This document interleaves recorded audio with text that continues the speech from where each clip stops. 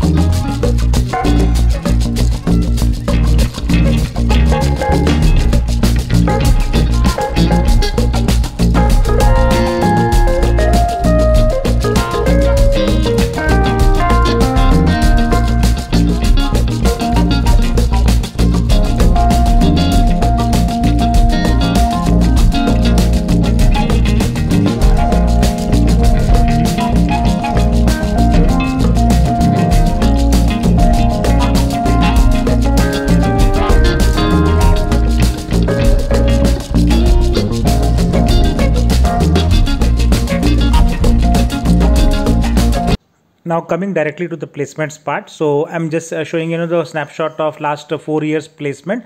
So in 2019 batch there was 320 plus students 220 batch also 198 plus around 200 students.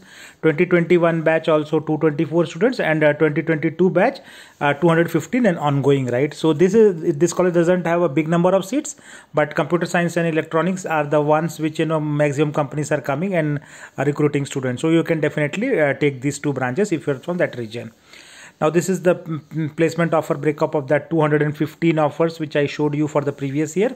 So there you can see TCS takes around 14 students, uh, Wipro 13 students, ThoughtWorks one student and uh, Alcatel Labs five students. And you also see Harman which is a Samsung company. They also take 11 students.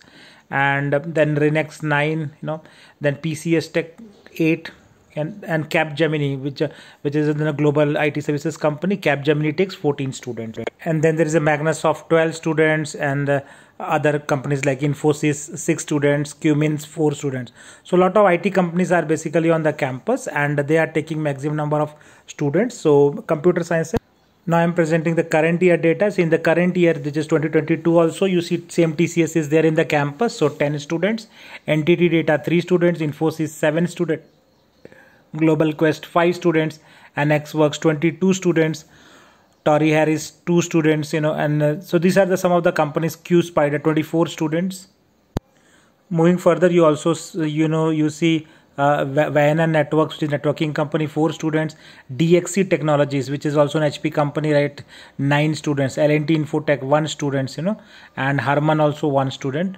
So uh, grassroots, which is Infosys BPO, the Infosys BPO, they took 10 students. Accenture also is back on the campus, 8 students. Capgemini, 3 students. And CSS Corp, which is Bangalore-based companies, all those one student. IBM is also there on the campus, 4 students. And then uh, you also see, you know, uh, HCL, HCL Smart Brain, which has taken 17 students from this uh, campus. So a lot of good IT companies are coming: Infosys, uh, Wipro, HCL, TCS, Capgemini, Accenture, and uh, so on. Right. So this is one of the student uh, or two of the students who got placed into the Accenture. Similarly, these are the students for the NTT data. So overall, good placements happen with respect to these two branches, electronics and communication and uh, uh CSE, which you can take in this college. Thanks for watching and please do subscribe to get similar updates on placements on across Karnataka college.